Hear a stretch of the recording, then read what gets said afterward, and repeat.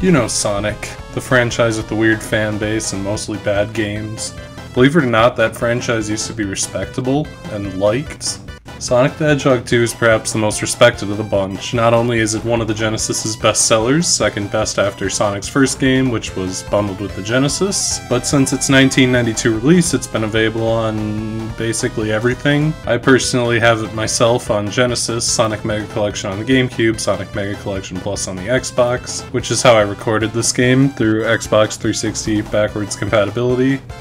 Uh, I didn't realize at the time that a newer version also has Knuckles in Sonic 2, because most versions don't. It's available standalone on the Xbox 360, as part of Sonic's Ultimate Genesis collection on the Xbox 360 standalone through the Sega Ages line on Switch, a version which has a few cool features like the drop dash, level select by default, and Knuckles, which I did not know, and in Sega Genesis Classics on Switch, plus ports on various plug and plays and all that other shit. I have Sonic 2 a lot. There's a lot of ways I don't have to play it, but there are also to play it. It's on basically everything. There's also a few notable versions that I don't own. The mobile phone version, which has been ported to PC by fans, runs at an incredible 60 frames per second, includes a level cut from the game before launch, Hidden Palace. And there's also 3D Sonic the Hedgehog 2, which is a 3DS port with some quality of life stuff, and the ability to view it in 3D if you'd like. Sonic 2 is one of the most easily accessible games of all time, and I'm sure most people have played it at some point, at least a little, which makes the introduction kind of difficult. Really, the game is just a certified classic, and everyone knows it. Part of 2D Sonic's appeal is its simplicity. Sonic 2 is a one-button game. Save movement, every button on the Genesis controller, and most buttons on more modern controllers that have ports of this game, is jump. Sonic only has two actions outside of movement and jumping, rolling and the new spin dash. Sonic rolls simply by pressing down while moving. Both jumping and rolling put Sonic in his ball form, doing so turns him into a prickly ball of death that can destroy enemies. The spin dash is a bit of a cheat to gain speed. By crouching while not moving, then pressing the jump button, Sonic charges a roll from a standstill and then lunges forward at full speed. It's kind of a band-aid on Sonic 1's design. In that game, speed was a reward for good gameplay, but then only two levels were actually made in a way that let that happen. Sonic was sold on speed, so the spin dash makes getting that speed easier and faster while also minimizing challenges based around building speed, like getting up slopes, instead opting for more freeform design based around avoiding obstacles quickly. What mainly sets Sonic's basic moveset apart from other equally simple movesets is pinball. Sonic is a pinball, the game is built on a pinball engine and it feels like pinball. Sonic is slow to get up to speed, carries momentum into jumps, and even when bouncing into and off of enemies. Any slope, no matter how shallow, is a speed boost, and any hill is an obstacle. The thing that makes Sonic fun is jumping in the perfect spot to bounce off an enemy, then another, then roll down a hill and into a jump and a bounce, bounce, so on. A game that makes jumping satisfying every single time is going to be a good game when it's a platformer. There's also some other fun stuff to mess with using the game's physics. If Sonic can make his way onto a wall while rolling using a slope or whatever, he can jump off to reach new areas. When the game allows it, the simple act of moving and going fast is great. In the Switch version, Sonic also has the drop dash, a move pulled from the relatively recent Sonic Mania. By pressing down and jump in the air, Sonic will initiate a spin dash immediately on landing, which really helps keep up the pace. Uh, the game wasn't designed around having the drop dash, so you could argue that it's a little broken, but it's a feature that can be turned off, so it's basically just a bonus. Another important element of Sonic is rings. Like coins in Mario, they're spread around stages, collecting 100 gives an extra life, and passing a goalpost, which serves as checkpoints with 50 allows access to the bonus stage. But they also serve a more important function that makes seeking them out worth it. If Sonic is hit while holding rings, he won't die. When hit without rings, Sonic is out instantly. Rings serve as a safety net, arguably too good of a safety net at most points. Getting hit reduces his ring count to zero, but he drops up to 20 rings which can be recollected. It's not a perfect safety net, rings despawn quickly that can fall into pits, it's often been joked in shitty webcomics that Sonic only needs one ring, but there's plenty of benefits to collecting more, obviously. Getting hit also affords Sonic tons of invincibility, making tanking hits a viable strategy through many of the game's obstacles. Sonic 2 also has three simple power-ups, a shield that protects him from one hit, invincibility, and speed shoes which briefly increase his speed and acceleration. The bonus stages in Sonic 2 are faux 3D behind the back segments with the gold collecting rings on the inside of a tube. There are seven bonus stages which are played in order, and each of the seven is the same every time, making them memorizable. Getting enough rings awards Sonic with a Chaos Emerald, getting all seven allows him to become Super Sonic at any time. When he has 50 rings and jumps, yes, this means it's impossible to avoid activating. For whatever reason, later games changed it to pressing jump a second time in the air. Sonic becomes faster, jumps higher, and becomes invincible, while losing one ring a second. If he runs out of rings in this form, he reverts back to regular Sonic, although it's pretty hard to drag out a level past 50 seconds while also collecting more rings, which extends the timer, to get to a point where Sonic will revert, especially because he's fully invincible. I guess I also need to talk about Tails somewhere. I didn't have a good place to cram him in. Tails is a new character joining Sonic on his adventure. By default, Tails is controlled by AI and follows Sonic, potentially getting rings or defeating enemies Sonic's missed, and getting some extra damage on bosses. A second player can also control Tails, although keeping up with Sonic is very difficult, and the co-op does not work great. The only time the second player will see any use is in bosses where Tails is invincible and can just tank hits and go at the boss with no risk. Uh, even then, the bosses are so easy that it's hardly necessary. The player can also turn off Tails or choose to play as Tails alone, who acts identically to Sonic in this game. Sonic music absolutely slaps. High energy, fast paced, and catchy as hell, uniquely using the Genesis's tinny sound chip to play with heavy bass lines. Mystic Cave Zone is fucking perfect with that deep bass line, high contrasting notes. Hilltop has that wacky fucking synthesized banjo and whistling and ugh. God, every track will be stuck in your head for ages, and the final boss theme is somehow catchy and intimidating. I love it all. Every fucking song in this game is a banger. Visually, the game is okay. I mean, for the most part, it, it generally looks nice. Sonic is expressive and has lots of personality. Enemies have cute designs, but they aren't like very animated or expressive. And while the stages are fairly expressive, they're all different from each other and have nice backgrounds for the most part, as well as distinct theming. The game's definitely not as visually impressive as it is on the soundtrack side. Uh, for a long time as a kid, I thought Mystic Cave Zone was like a weird forest thing, despite what it's called. All the like gem rock cave crystal things are all green. It makes them look like leaves. Some of them aren't as good as others.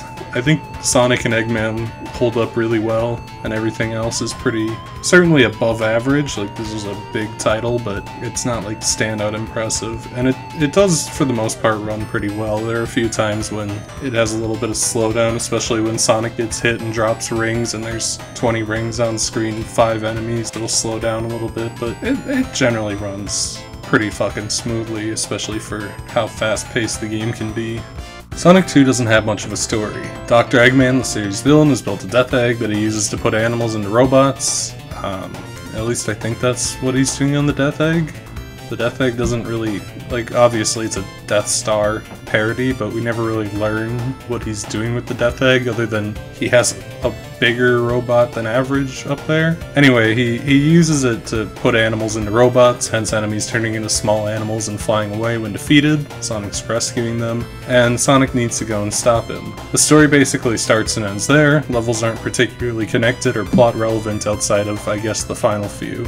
Emerald Hill Zone is well, to address it first, no, it isn't Green Hill Zone from Sonic 1. It's just incredibly fucking close. Good designs never age, but boy howdy is Green Hill testing my patience. With few exceptions, zones in Sonic 2 have two acts, which use the same themes and enemies but slightly up the challenge. Emerald Hill shows off two important design concepts to the Sonic franchise. First, speed. Emerald Hill has very few forced stops, almost no pits or ways to fall off the stage, and enemies that don't slow Sonic down. Not only are they extremely non-aggressive, but Sonic can gain speed through momentum when destroying them. The second is layering. Emerald Hill has two very obvious paths, an upper and a lower. The upper level is much more demanding, jumps are tighter and wider, may require bouncing off enemies or taking hidden paths, but managing this saves a bunch of time over the lower route. Falling also doesn't result in death, the punishment for messing up on the top path is being dropped to the bottom path, which is safer but slower. It creates an interesting dynamic. Good play is tougher by design, but is rewarded with greater speed. Um, how do I talk about the bosses? They tend to be bad, and by bad I mostly mean easy. Most bosses crumble under pressure, especially given when they do hit Sonic, he becomes invincible, which just lets him mash the jump button to destroy them in about 10 seconds. The first Eggman machine to serve as a boss is a car with a drill that slowly drives back and forth. It's easy enough to get 3 or more hits in per rotation, and the boss takes 8 hits to defeat, like all the other bosses. After the 7th hit, Eggman launches the drill, which is about as easy to dodge as the rest of the boss. Most future bosses follow this pattern, in that they are largely formalities. Levels following this have the same format of high path, low path, but also begin incorporating in level gimmicks. On top of a banger song, Chemical Plant Zone is probably the best remembered stage in the game for the drowning. Act 2 has an infamous stretch where the water level rises, falling in runs the risk of drowning accompanied by the stressful drowning music.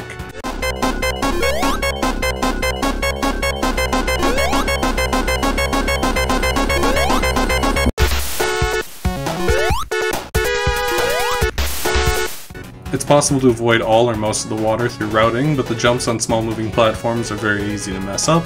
It's possible to climb back up after falling in, but time is very tight. Other gimmicks are more minor, panels that flip to either be solid platforms or disappear periodically, tubes that just move Sonic around, stuff like that. The boss has one of my least favorite Sonic tropes. On the end of each area is the flip panels, meaning about half the time the fight takes place with instant death on either side, while the boss itself is very passive, just dropping very occasional blobs into the center. It's not likely, but possible to have bad luck on the rebound, especially when he first starts moving, and be dunked into the pit. The boss itself is so passive that beating it quickly kind of mitigates the risk, but I could see new players really struggling with Chemical Plant Zone. I know I did as a kid. It is a fun level, it's very fast paced, constantly moving, but it's probably the hardest up until like the final three or four. I remember struggling with this one as a kid, mostly the boss and the water part. Aquatic Ruin Zone also has a focus on water. Like Emerald Hill, it's very focused on its various paths. Falling down leads to long stretches of underwater sections, the level is so straightforward that it isn't nearly as stressful, and there are areas where Sonic can refill his air by gulping on bubbles. Going through water is slow, meaning the high path is extremely rewarding, although the upper layers have pillars that shoot arrows at Sonic from behind, which are a little bit hard to avoid. Kinda gotta stop yourself from just going full speed ahead occasionally. The boss here is probably the only one in the game with great design. Two totem poles appear on both sides of the arena. When Eggman bashes one with his hammer, it shoots an arrow at the other, which can be used on top of the pole where the player is supposed to jump at Eggman, fall down, and repeat. Although with good play, it's possible to bounce off of Eggman and back on top of the pole, which means Sonic can spend the whole time not going through the waiting and arrows and all that. That's a really neat thing that lets the boss be sped up. The other bosses don't have anything nearly that interesting, although many of them still do die very quickly. In a way, it's kind of like a reflection of the high path, low path thing in boss form. It's trickier to stay on top, but it's also much faster. Casino Night Zone is a pinball table and a casino rolled into one. Flippers are placed in miniature tables that exist in the middle of the stage, pretty much all over the place, and the player can go ham racking up rings or points in the pinball slots. As fun as it can be, the actual level is incredibly linear and easy. Um, fantastic song. There's barely any enemies or obstacles, it's kind of like a rest area or like a fun distraction. I think the only reason it was made is because pinball. They just wanted to reference that song. Very good. The boss takes place in one of these pinball tables where the flippers are an option, but they're not really a good option. They're a little too difficult to precisely aim Sonic at Eggman. Optimally, it's easiest to just run back and forth and jump off the walls towards Eggman, who just kind of floats back and forth, dropping bombs very occasionally. Both acts of Hilltop Zone are pretty straightforward. The primary gimmick of the stage is gondolas that carry Sonic down, but each act also has a segment where Sonic is trapped in a small area with something rising, either land or lava, which poses an interesting challenge, as it mixes elements of precision and speed without being full precision platforming like the first game had, where it's just stopping on tiny platforms and jumping between them. The boss rises and sinks into lava on either end of the stage. Lava isn't instant death, but rings fall through it, making recollection hard. That said, the boss itself just shoots a small fireball and then lights the ground next to him on fire. It's very easy, it's pretty hard to do the boss quickly, as in like hit it multiple times per cycle. But the boss itself is easy if you're not trying to speedrun it. Mystic Cave Zone has lightning bug enemies. They're invincible hitboxes when lit up, which can be very fucking annoying. Outside of that, the only real stage gimmicks are like these rock pillars that bounce up and down. I guess there's like vines that you pull on to lower bridges. Uh, it's not very gimmicky. It's probably my favorite stage in the game, partially owing to the absolutely fucking fantastic music. Although I also think it's a it's a good one. It challenges you to go fast, but going fast also requires kind of like knowing what you're doing more than like Emerald Hill Zone where it's pretty easy to just press right and jump repeatedly. The boss is the only one before the end that I'd consider hard, partly because it's easy to get fucked on it. The checkpoint right before the boss doesn't have accessible rings because it's at the bottom of the pit, which means losing to the boss or going into the bonus stage leaves Sonic with zero rings for the boss that's the most chaotic and easiest to get hit on. Between slowly drifting across the stage, Eggman will drill into the ceiling, which drops rocks and stalagmites. Rocks are just there to clutter up the screen and don't damage Sonic, but the stalagmites do. They come very fast. It can be pretty hard to dodge them. It's very easy to get an unlucky pattern with the spikes and just get smashed once. And if you're in there with no rings, it's just like, okay, good luck. Mystic Cave Zone has the best song in the game, so here's just like a few more seconds of it right here.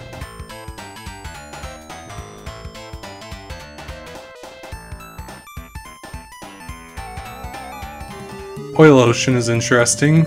It feels like every idea they had was tossed in and blended with no real coherence. There's fans that blow Sonic around either against him just to stall him for no reason or float him upwards across gaps. Cannons that launch him around. These things that pop up periodically, which are pretty fun to jump off of, even if there's a little waiting involved. The entire bottom of the screen is a sea of oil that Sonic slowly sinks in. He's able to jump around in it to keep on top of it, so you can kind of like bounce back and forth and stay in and get around that way. The theming and the music are some of the weakest in the game, I think. The little Arabian part's kind of nice in, in the music, but the level itself is okay. The boss's little quirk is that he rises from the oil. It's possible to bounce off him like a solid four or five times every time he comes up, and all his attacks can be dodged by just hanging out in the oil. The only flaw is that sometimes when hitting him, Sonic can just fall through the oil instantly and die. It's fairly rare to happen, but I had it happen to me a few times during this playthrough, and I know that's been a thing that's happened to me in the past as well.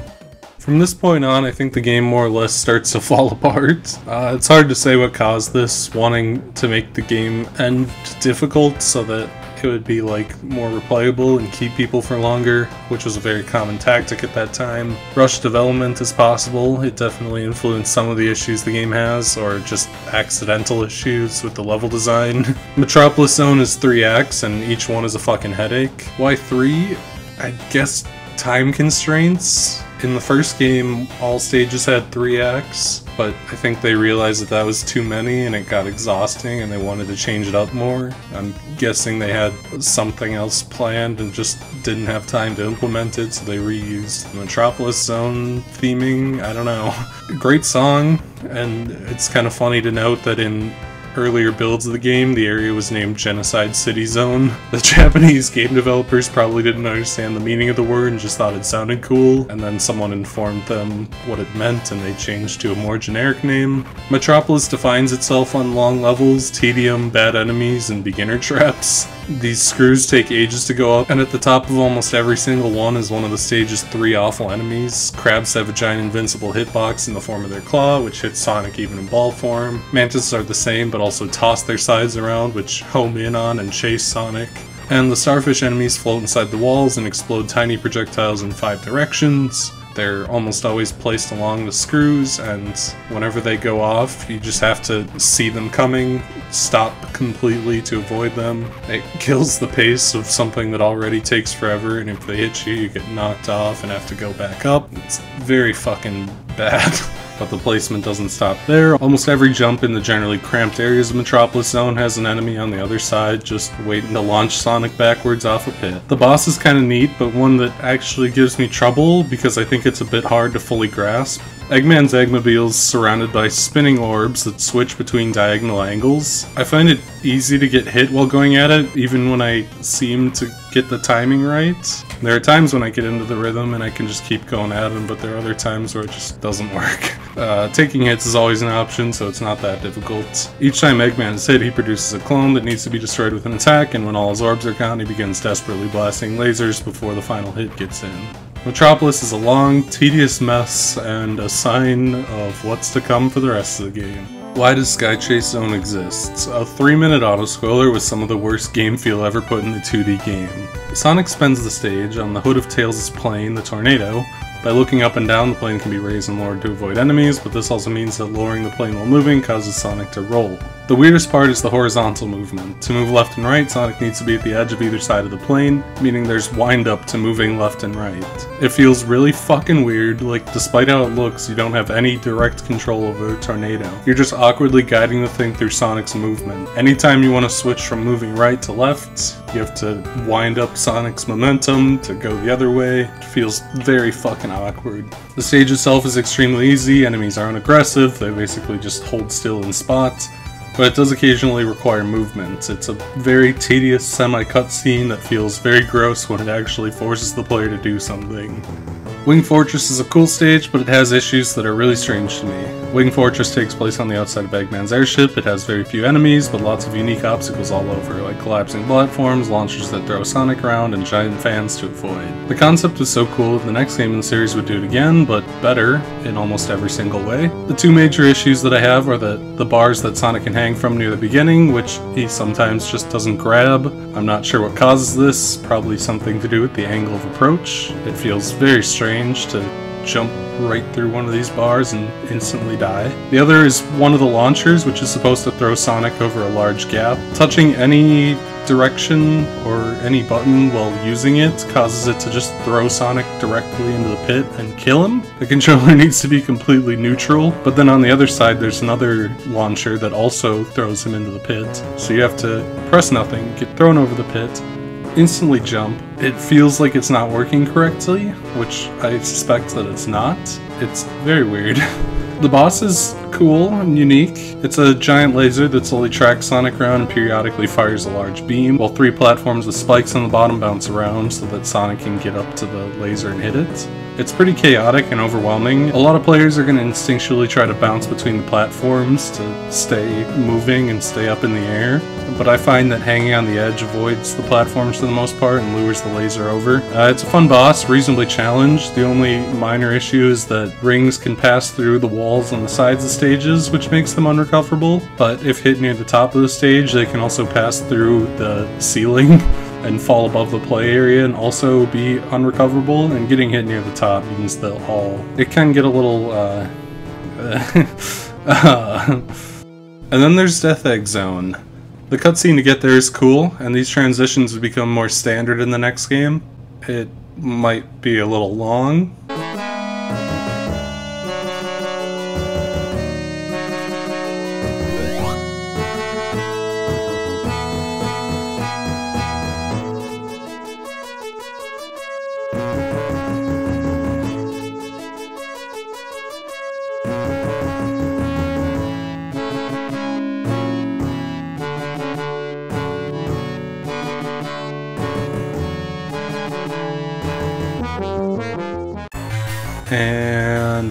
Death Egg Zone is two final bosses in a row, with the strange caveat that the stage has no rings.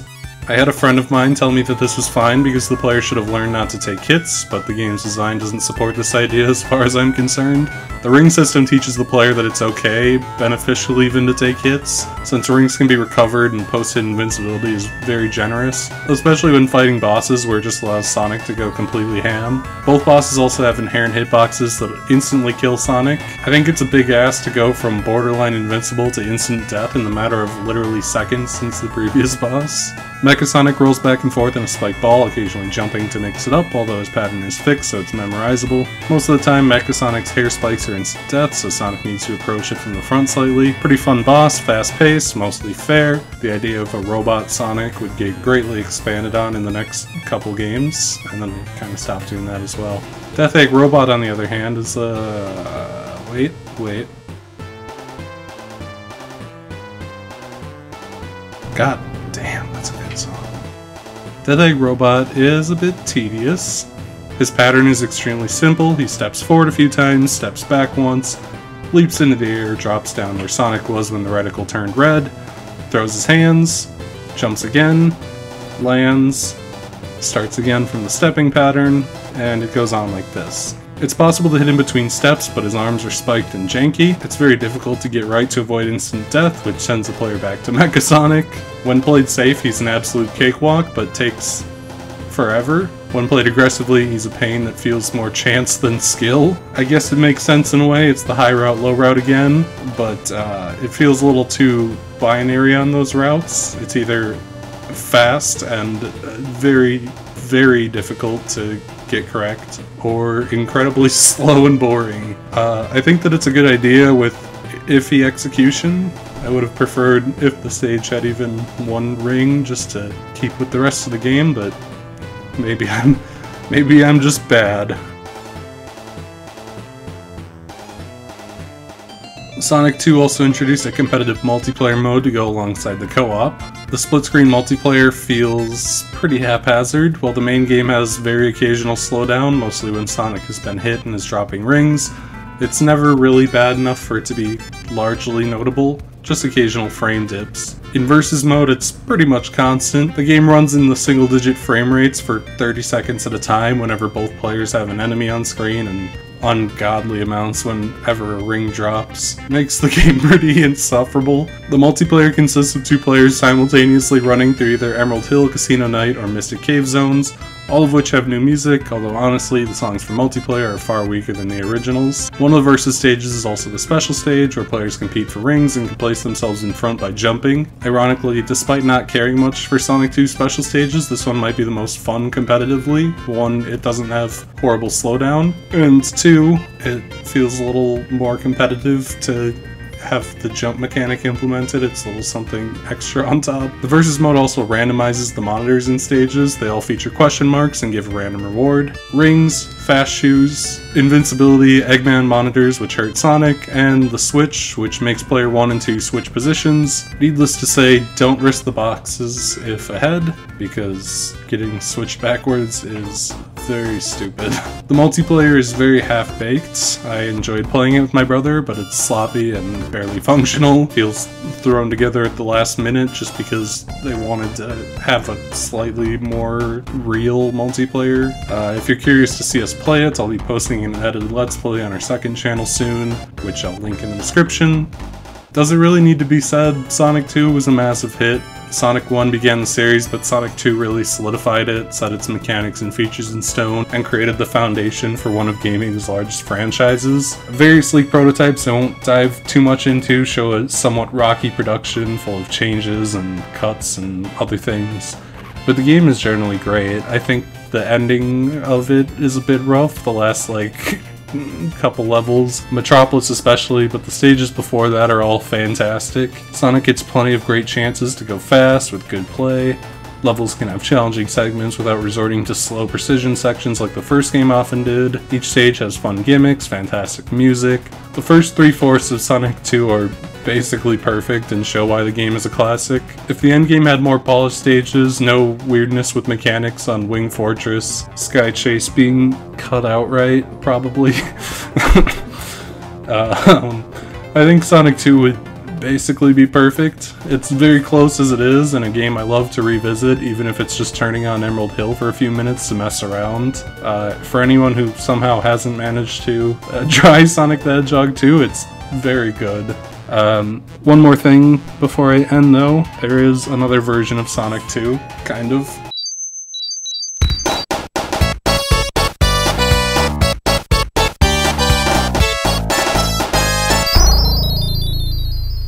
Knuckles the Echidna in Sonic the Hedgehog 2, which I'll henceforth be calling Knuckles in Sonic 2 because the full title is a mouthful, is a strange beast.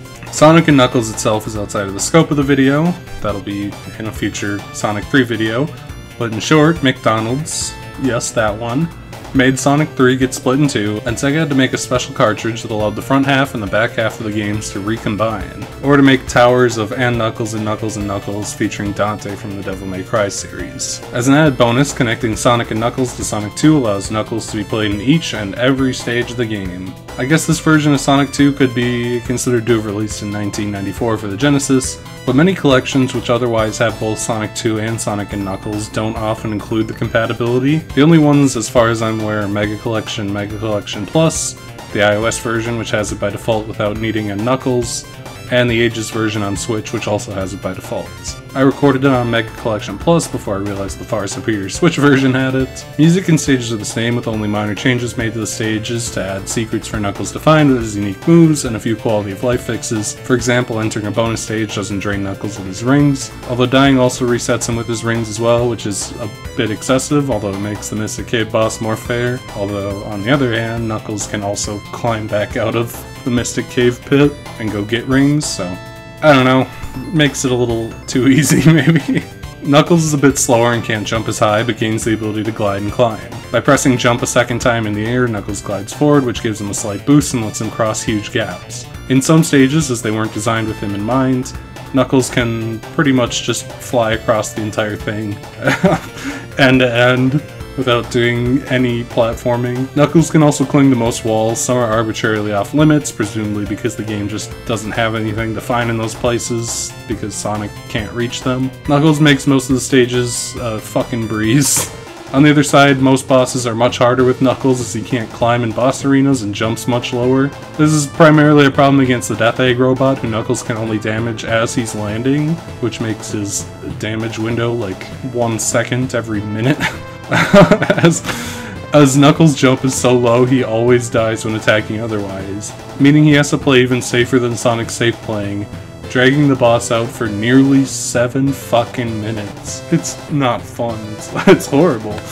That all said, it's the same great game with a fun little gimmick of a different character. The game is obviously not designed for Knuckles, he breaks in half. Even the normally miserable Metropolis zone is much less awful. It's a fun little novelty, and for people who've played Sonic 2, it's a fun new way to experience it. Same great game with a fun twist, so I guess in that case, if uh, play Knuckles in Sonic 2, it's also great.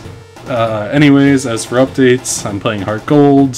Uh, sometime between Heart Gold and Soul Silver, I'll be playing a game based on a movie based on a game and making a little video about it.